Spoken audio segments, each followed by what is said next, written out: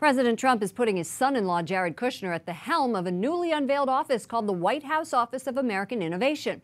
It will focus on modernizing the technology of every federal department. It's all part of the outside the Beltway family approach. Jared Kushner, a senior advisor to President Trump and his son in law, will run a new White House office aimed at overhauling government. He's using ideas from the business world. It's my pleasure to welcome such incredible women, including my daughter. Trump's daughter Ivanka, who is married to Kushner, took part in a roundtable with the president and female small business owners. She has a West Wing office, but no official job.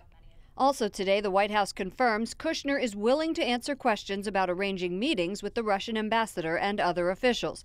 This comes as the Senate investigates ties between Trump associates and the Kremlin. A member of the House Intelligence Panel says so far there's no evidence. During a transition, it's not unusual for members of a transition team uh, or an incoming administration to meet with foreign officials during that time period. The White House notes Kushner was the main contact with foreign governments throughout the 2016 presidential campaign and transition. He met with countless individuals.